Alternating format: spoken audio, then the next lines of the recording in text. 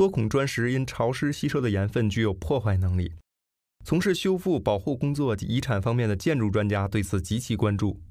即使采取防潮措施，也无法处理残留盐分污染问题及其持续的破坏作用。尽管做出了各种努力来解决破坏问题，像加固表层、用底漆或油漆材料锁住盐分，或者使用防止盐分扩散的底漆，可结果都不成功。大家首选的盐分去除法也证明不理想。直到现在。